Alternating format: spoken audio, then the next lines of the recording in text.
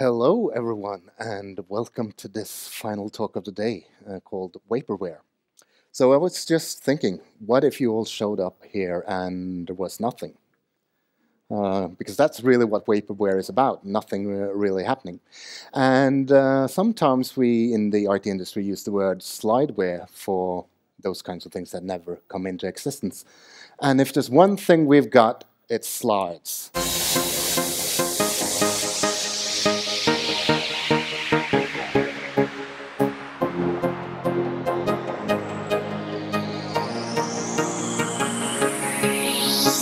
Yes, Steva! Welcome to the final session of the day. I'm Anders Norås and I'm going to tell you a few stories.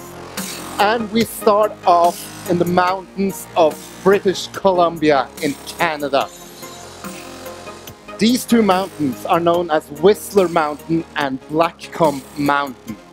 And for those of you familiar with Windows code names, you might know that Windows Whistler was the code name for Windows XP. Windows Blackcomb was the code name for Windows 7. But this is not the story of either of those versions of Windows. This is the long lost story about Windows Longhorn. And in between these two mountains, there is an après-ski place where the execs on the Windows team at Microsoft used to go for their strategy sessions. And down there you will find the Longhorn Saloon and Grill, which is where they took the name for Windows Longhorn from.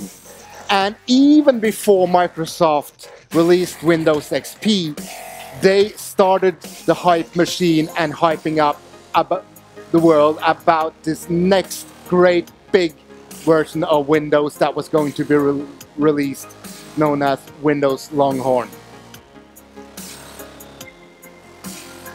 This is Windows Longhorn. Or at least this is the internal Microsoft concept video of Windows Longhorn that they were intending to make. In fact, this is not built with any Microsoft technologies at all. This is built with something called Macromedia Flash. And I must say, the people in the UX design department at Microsoft are true wizards of Macromedia Flash. Because of those of you who remember when websites were built in Flash, you probably never have seen anything that looked as good or as advanced as this, built with that. But they had great visions for what this Windows Longhorn product was to be. And uh, the first leak that came out from Microsoft was in October 2002 it looked a whole lot like Windows XP. The only curious thing was that it wasn't built on Windows XP, it was built on Windows Server because they had such grand visions for the, this thing that they needed the computing power of a server, not a regular desktop OS, to make this come into being. And then sort of time passed and new leaks came out. The hype machine was running strong. Uh, on the Windows Developers Conference, they released something with the Plex UI, which resembles this thing in, um, in the prototype. And they kept on going. But this was built on a few pillars that were to be the next version of Windows. One of them is the Plex UI, as we can see it, with see-through windows and loads of bells and whistles and utilizing the hardware acceleration and graphics chips that were just coming on, on the market. The other thing was the sidebar on the right side we see here.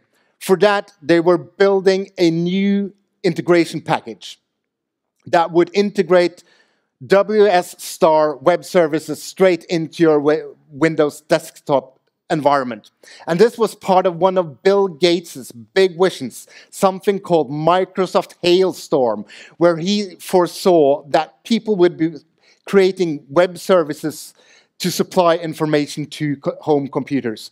And of course, you need the WS Star stack with proper security and everything to get a weather forecast on the desktop. The last thing they had was the WinFS file system to build this thing on top. And for that, they started building a file system built on top of Microsoft SQL Server. So a relational database to store all of your files so that you could have tags and things like that. And you could do queries towards who on that I follow on Twitter is in the room at Devoxx UK now. Zero rows return probably. So, but this just kept on going, and uh, time went by, but nothing was ever released. And that's the thing that happens when you start building something uh, and you name your project from an après-ski place. Things tend to slide. And I have a video from that après-ski place of the product team. Woo! Oh, and I say this can make a grown man cry. And Bill Gates has been known to say that the choice of code name Windows Longhorn was a bit random. Probably wasn't. But I think that probably quite a few of you in here build business software for a living. Am I right? Yeah. Uh, if not, I'm curious what you're doing. And this was this was a big part of what the, the Windows Longhorn vision was about. It was about the next generation of, of productivity software. And this is the promotional video, video from the Microsoft Apps team. And their outlook on the state of development was a bit gloom. Uh, there are like loads of quotes, uh, idle employees going for coffee.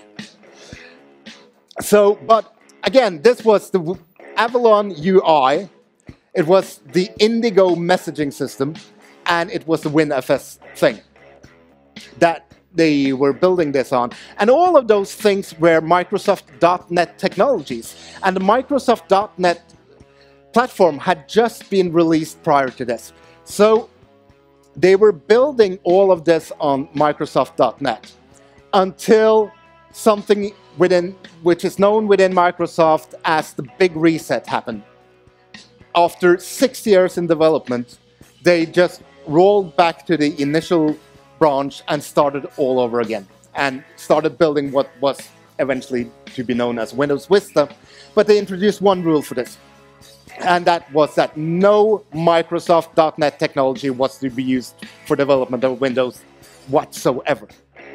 Because Microsoft.NET at that time was just not mature enough to build Windows.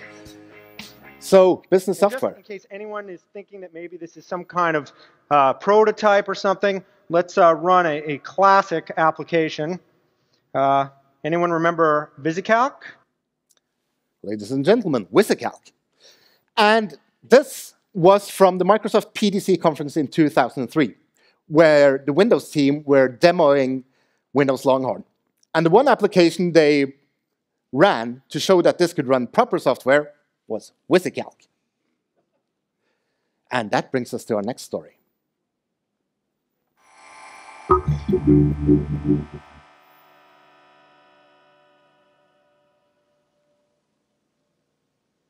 There have been two real explosions that have propelled the industry forward. The first one uh, really happened in 1977, and it was the spreadsheet. I remember when uh, Dan Fylstra, who ran the company that marketed the first spreadsheet, walked into my office at Apple one day and pulled out this disk from his uh, vest pocket and said, I, I have this incredible new program. I call it a visual calculator, and it became VisiCalc. And that's what really drove, propelled the Apple II to, to the success it, it achieved. So, back at the beginning of the 1980s, productivity software was all the rage. That was what everything was about. And as we just heard, VisiCalc was one of the big ones. But one thing at that time was that there were individual products for different things. So VisiCalc was a spreadsheet. And there were other spreadsheets around as well. Lotus 123 was one of the best known at the time. And then you had things like WordStar for word processing and um, other productivity tools. There were no productivity suites as we have with Microsoft Office 365 these days. They were all individual tools. And uh, Ovation Software set out to change that. And uh, they announced in 1983 their product, which was an integrated suite of productivity tools. So you wouldn't just have a spreadsheet or a word processor. You would actually have a spreadsheet, a word processor, a contact management tool, a productivity uh, database, a communication package, and everything rolled into one. And that was, uh, was this product they had. It got vast amounts of press coverage.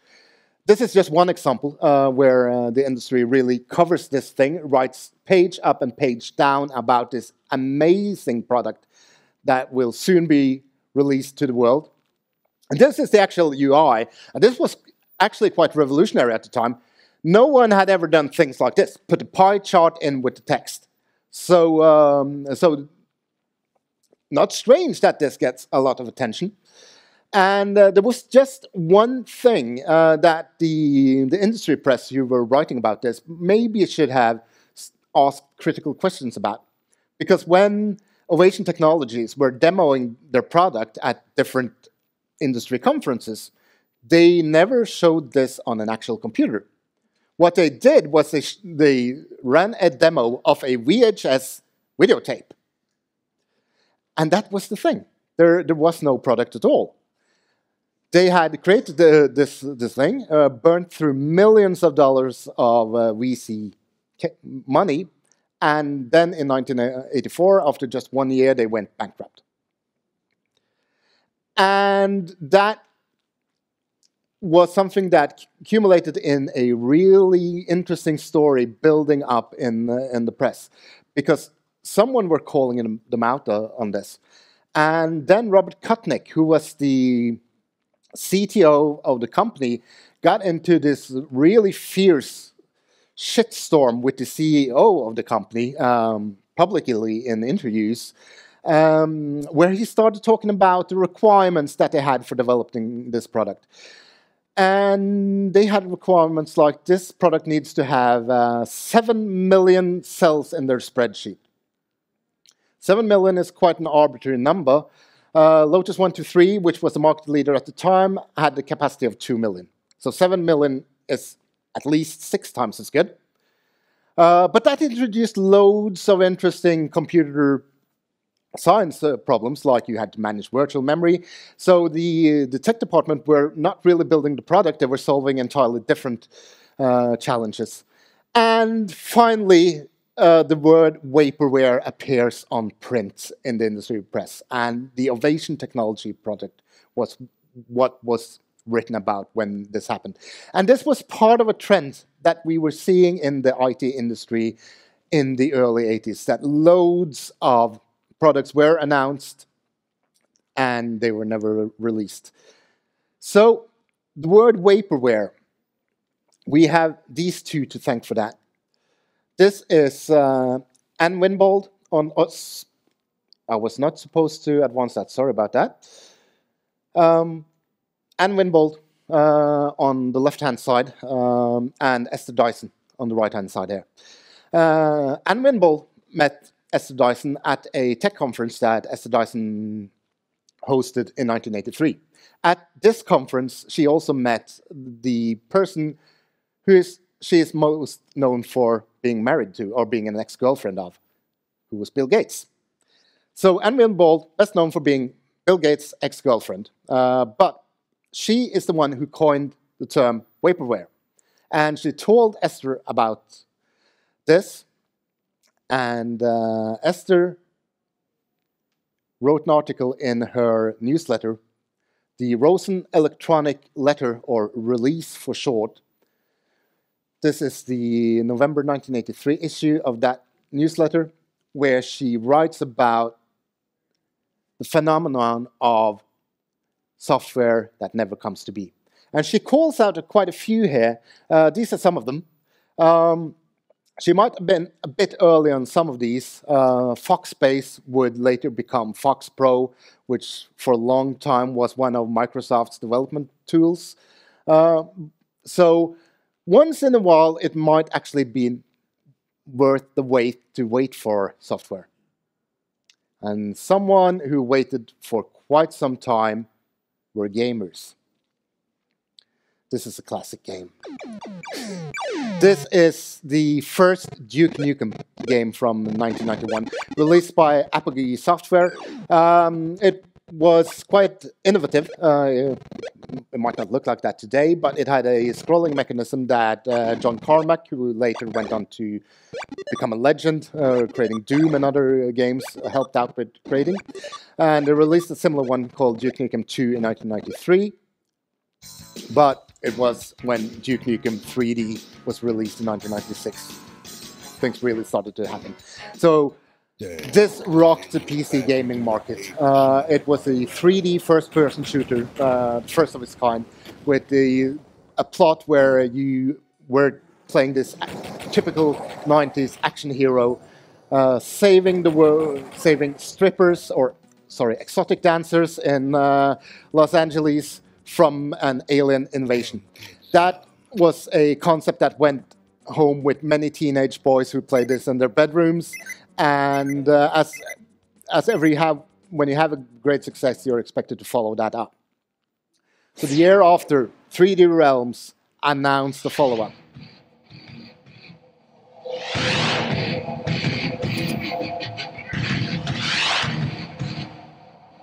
I was born to rock the world. Because this is, of course, the story of Duke Nukem Forever, the most famous vaporware there ever was.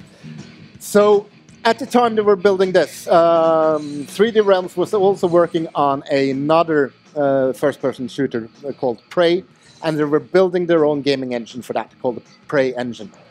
But for Duke Nukem Forever, they wanted nothing but the best. They strived for perfection. So uh, they announced that they will use not their own Prey engine, but they will use the Quake engine instead. The reason for this is that uh, a few months prior, another game called Quake had been released, and that was then the gold standard for first-person shooter games at the on the PC platform. So we strive for nothing but perfection, so we're going to use the Quake engine. A year passes. A game known as Unreal is released. We strive for nothing but perfection, so we are changing the gaming engine to use the Unreal engine instead. So they announced this, and it just keeps on going. Um, come the year 2000, uh, nothing is released. Um, but they are, they are strapped with cash. So they can keep on developing this.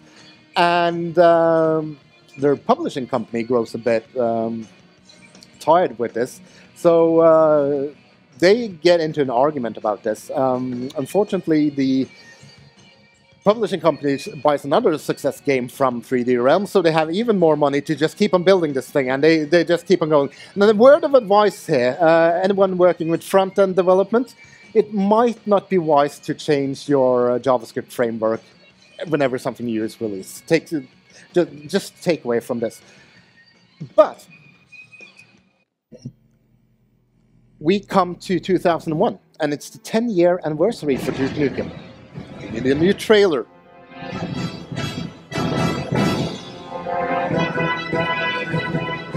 And we are already starting to get nostalgic about the original game from 1991 and they are sort of building the myth about how good this game is going to be.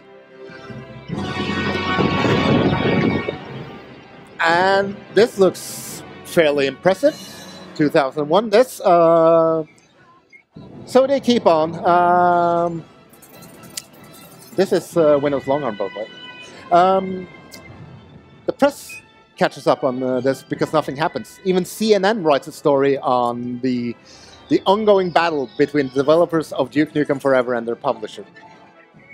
And uh, finally, they actually run out of money.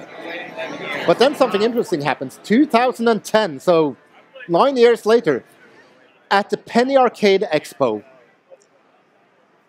it is announced that anyone 17 years or older can come to the Take Two Interactive booth and play a preview version of Duke Nukem Forever. And this is the actual line.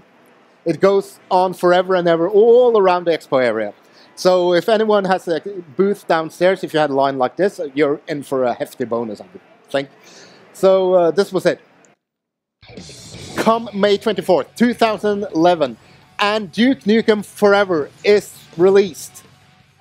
Finally. This is how the game starts.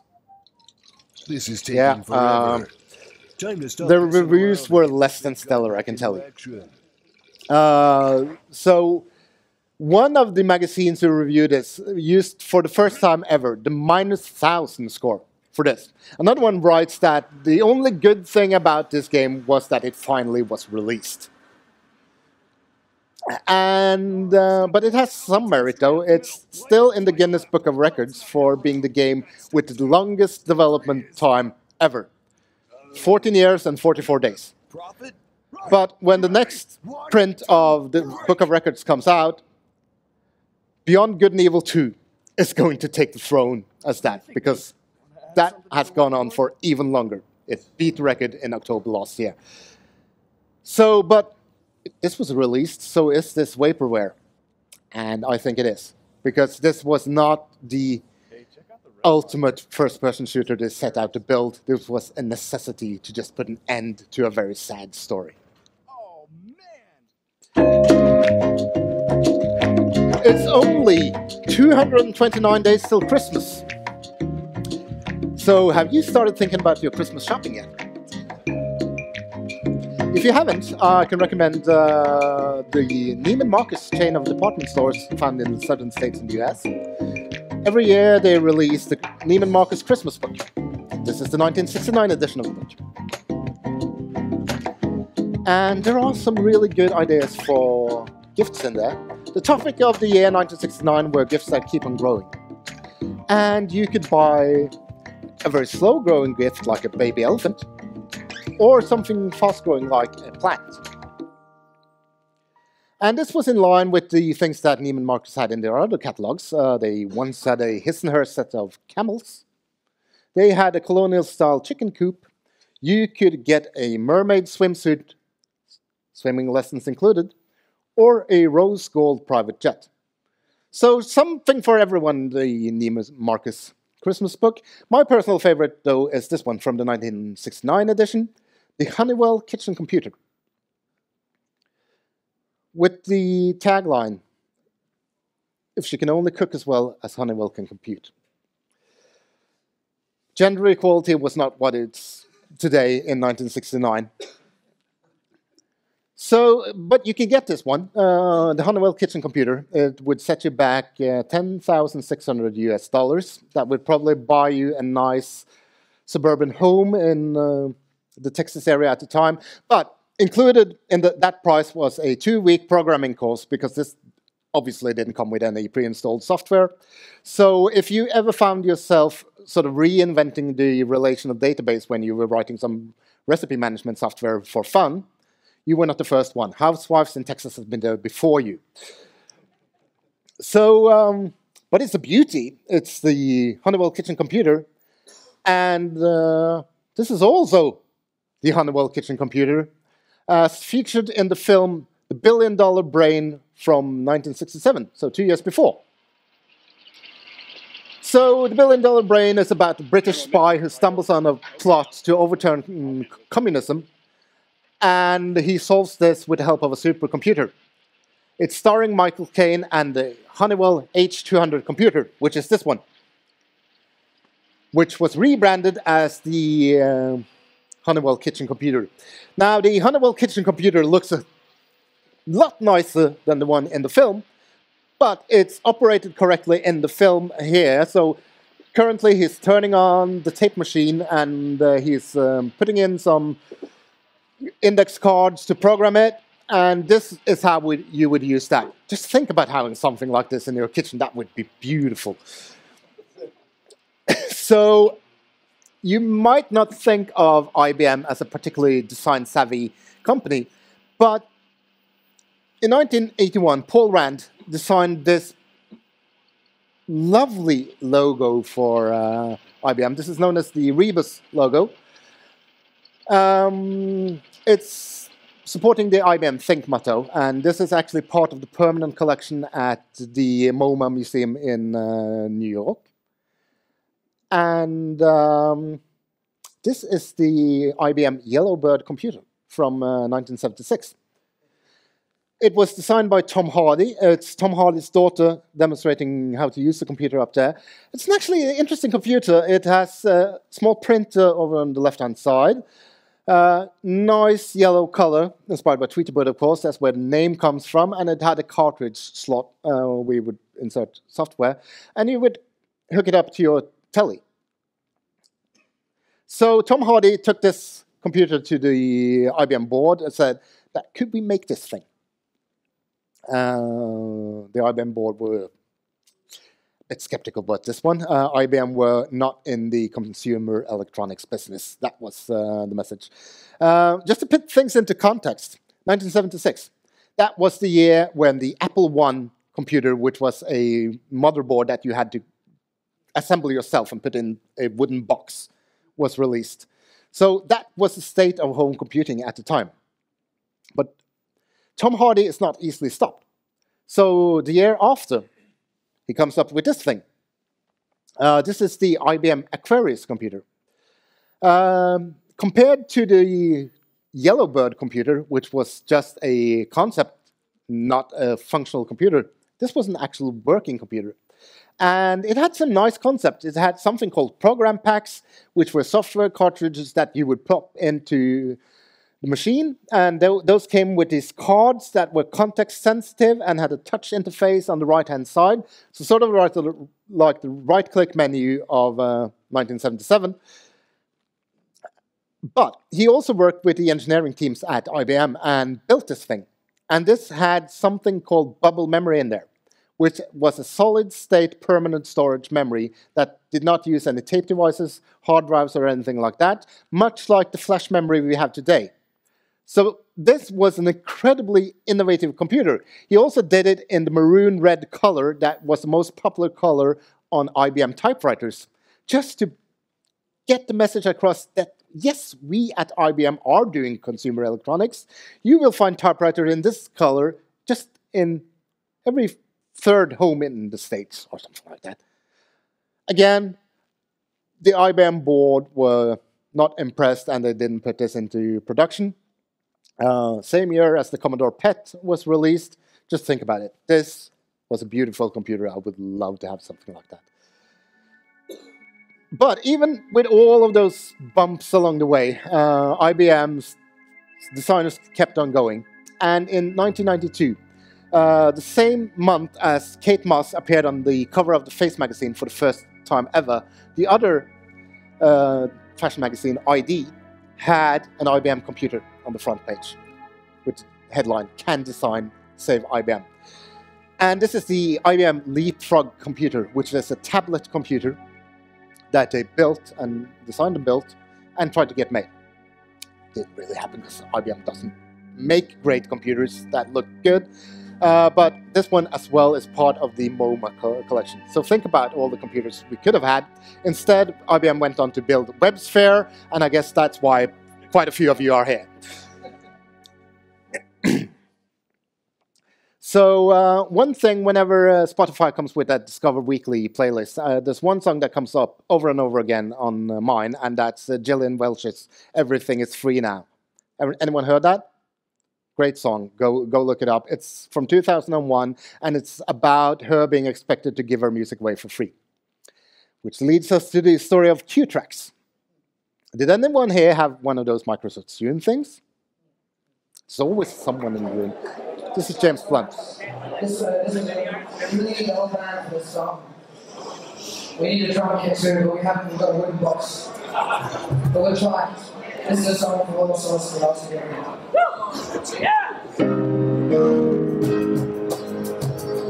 So filmed it from inside of James Blunt's grand piano at the release of the Qtrax software or platform, music platform at the MIDEM Music Industry Festival in Cannes in uh, 2008. So uh, the Qtrax software was this. It was a uh, website actually built with Microsoft Silverlight, which was what came out of that Windows Longhorn UI story from earlier, and it looked like this. It was a uh, music site where you could go search for music, download music, and uh, put it onto your MP3 player, which is fairly fairly decent. Um, the market leader at the time was mm, uh, Apple's iTunes, so having a competitor for that would be good.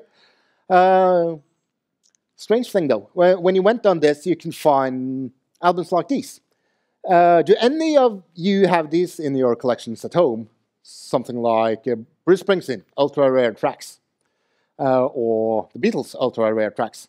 Probably not, because these are bootleg albums that are only shared between hardcore collectors and burnt on CDs. And the thing was that uh, Qtrax was built on top of the LimeWire file sharing peer-to-peer platform. And there's one thing that you need to have in place if you're building a music distribution service, and that is licensing agreements with the rights holders to the music you have. Um, they didn't have this. Uh, they had the technology. Uh, a few months later that year, a small Swedish company released something. They have the same brand profile color as this, and uh, that was the end of it. So, but even before that, uh, music was distributed on these things. These are compact discs, and this is a uh, CD manufacturing plant. And this thing looks expensive. So what if we could store data on uh, something more readily available? Something like, for instance, paper. Not to mention that people have been using paper to store information for ages. Uh, but there was a Indian science journal, International Journal of Technology and Engineering Studies, that announced a remarkable technology known as rainbow technology. This was a technology that would use regular paper to store data. And this is the, uh, the scientific article. Um, I'm not entirely sure if this holds up to scientific article standards, but it has the architecture diagram in there. Uh, it's working. It, this is the way it goes. But I think the interesting thing is uh, the statements they make about this is that once rainbow technology is in, soon we will be watching full-length films from a piece of paper. That would be pretty amazing. And I also envisioned that we could have so, sort of like storage facilities where we have these cabinets where we put paper in folders and store loads of data, storage centers. That would be, that would be brilliant. So uh, this is the technology, a sheet of A4 paper that measures uh, 210 times 297 millimeters. Uh, for you Brits, that would be 2.4 times uh, 3.3 wiffles Wiffles is a British marine measurement unit that is actually used. You can go look it up on Wikipedia. I'm not making this up. Uh, on this uh, piece of paper, we would uh, store quite a lot of data, 450 gigabytes of data to be precise. So let's just do the back of the envelope on this. So let's be really generous and say that we have a state-of-the-art, best there is, flatbed scanner 1200 uh, dots per inch, and uh, we're going to do some more measurement transformations here, turning this into American measurements to figure out that we can have 134 million individual dots on a piece of paper if you print it full bleed, edge to edge. That's a lot. And uh, if we also have a very good printer um, that can have 250 different colors, that would give us one byte per dot or uh, 144 megabytes per page. That's that's pretty good, I would say. Uh, it's the theoretical maximum, though, but it, it would look something like this. Um, don't know if any of you remember, but in the 1990s, there was something called magic dot drawings that were, were quite popular. They looked a bit like this. And uh, for those of you who don't know, you would focus on this, just stare at the actual image, keep on staring at it, and something would pop out from the paper and just be there. Yeah, exactly. That was what this was. So this here is Ted Nelson. Uh, Ted Nelson is one of the unsung heroes of uh, IT culture and IT history. Uh, we should talk more about Ted Nelson. One of the things he's known for is publishing this thing, Computer Lib. Uh, he published this in 1974. Uh, it's entirely self-published. He did everything himself. He wrote all of the text. This is what it actually looks like. Wrote this on his typewriter, drew all of the illustration, cut and paste this together, and got this printed and uh, released. Uh, this is a book that is describing computer science in layman's terms and having all of the things from uh, computer culture at the time in 1974, even a bit of that naughtiness that made uh, Duke Nukem Forever so widely popular. But I think Computer Lib is one thing, but on the flip side of this, uh, there was another book, Dream Machines. And uh, Dream Machines was Ted Nelson's vision for the future. So, welcome to the story of the adventures of Ted Nelson and Project Xanadu. In the 1960s, Ted Nelson gets the idea for a concept he calls hypertext. You might have heard of that. Ted Nelson was the one who invented it. And uh, throughout the 60s, he designs this alone uh, under the name Xanadu, which he chooses in 1967. The name is taken from the poem The Kubla Khan, and Xanadu is the mythical castle in the distance. And what Ted Nelson envisioned was that you would have something called Xanadu stands, would, which would be places where you could go and use a computer and connect into a library of all the world's knowledge, tied together by this thing he had invented called hypertext. And he figured that this would be like mom and pop shops that you could go to with your friends, sit down, use one of the Xanadu terminals, and uh, not only consume information but also produce things and get proper attribution for the things you made so that you can also be paid for what you did. You would be out driving along with your family and you would see one of the screens on the roadside saying that 2 million screen hours served and you would pull off. The kids would sit down, maybe play a game from one of these terminals. Parents would wait a while to get one of the big vertical CRT screens, look at their vacation photos and reminisce over times and have a good time in these Xanadu stands. And this is Ted Nelson himself with a prototype that he built in cardboard and uh, balsa wood and whatnot of what he envisioned one of these things to look like. This is um, the radically empathetic students interested in science, technology, and other research studies, or the Resistors for short, which was a computer club at uh, Princeton University. The average age of these people were 15 at the time. Uh, the girl in front is Lauren Sarno. She was 14. She would become uh, Ted Nelson's personal assistant. They would go on to marry 46 years later, so she is now his wife. And these were the people helping Ted Nelson build his hypertext platform Xanadu throughout the 1970s.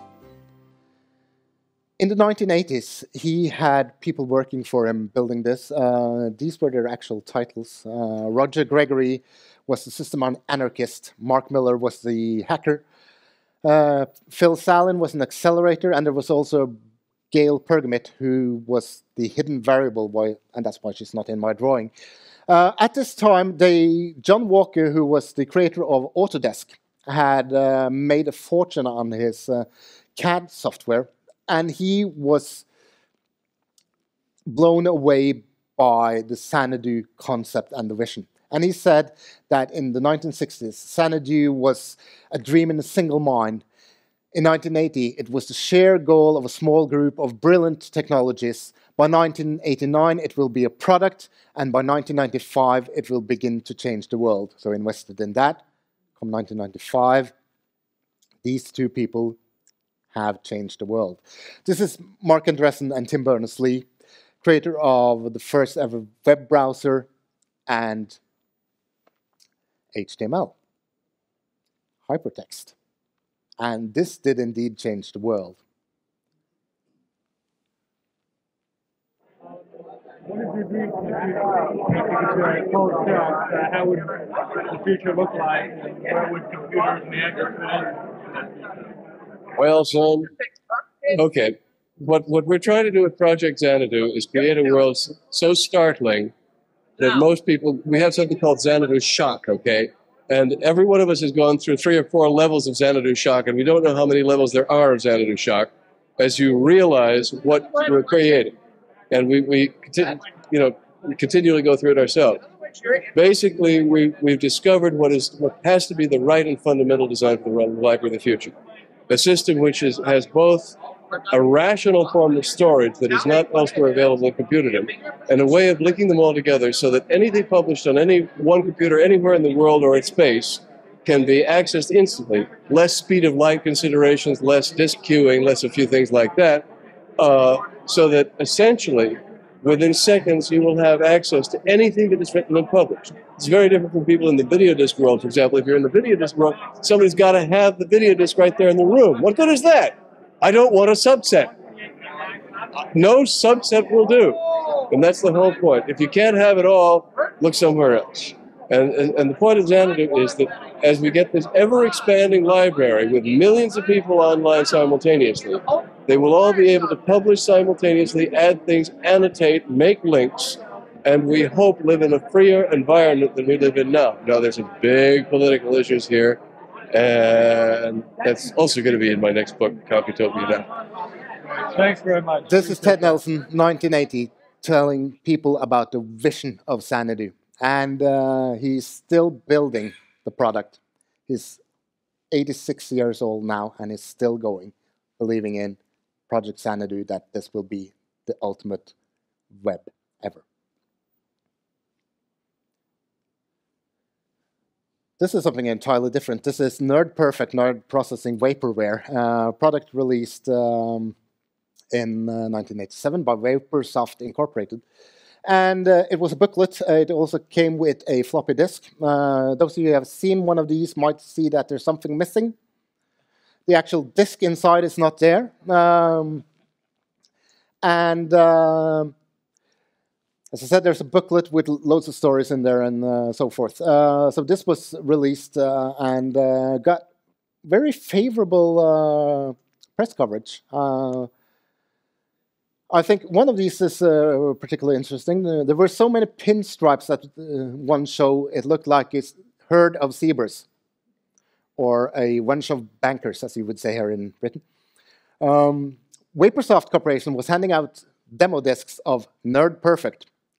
Its nerd processing vaporware had slick promotions all over Comdex. This delicious product has no specs, no price, no delivery date, but will solve every micromanager's problem anyway. It eventually came on the market. You can still find this on eBay. Uh, you have, will have to pay, pay quite a hefty price for it. But it was the first product to deliver exactly what it said on the box, absolutely nothing.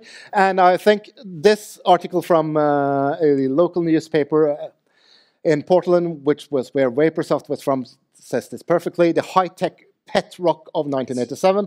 The pet rock was something that was sold in the 1960s on mail order in the United States. It was an actual stone, and the person who sold this made millions on it.